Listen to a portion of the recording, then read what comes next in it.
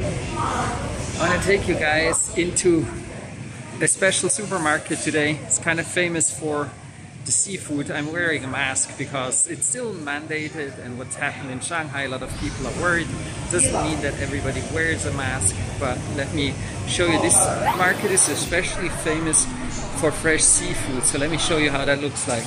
I had to turn off the camera quickly because I had to turn uh, to scan the health code as always, the entrance. But here we are in the shop. Let me show you how it looks like. General, a supermarket like any other. But there's a special section which is the live seafood.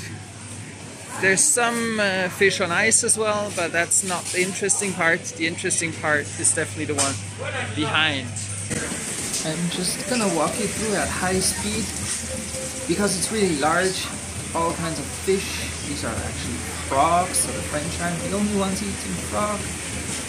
Then um, we go over to some very creatively packaged fish. Then to shrimp and some small shellfish. This here I'll go into in a moment. Then here's some huge, massive crabs and there's lobster also uh, just around the corner, some very flat kind of fish, um, all kinds of fish, I don't even know what they're all called, a smaller kind of crab. And generally, what's really interesting in the supermarket is you can buy the seafood you like and then have them make it for you. You can eat it there or take out and that's exactly what we're going to do as well.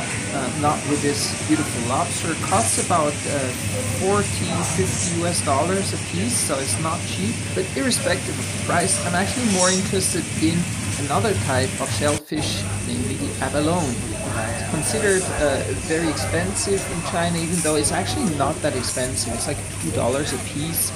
Um, but it still kind of has this image of expensive food to eat abalone and here you can grab them yourselves and it was an odd experience. I didn't expect that they're kind of sticking to each other. They use their suction mechanism to suck to each other, so there's a whole a bunch of them stuck together, counting how many there are.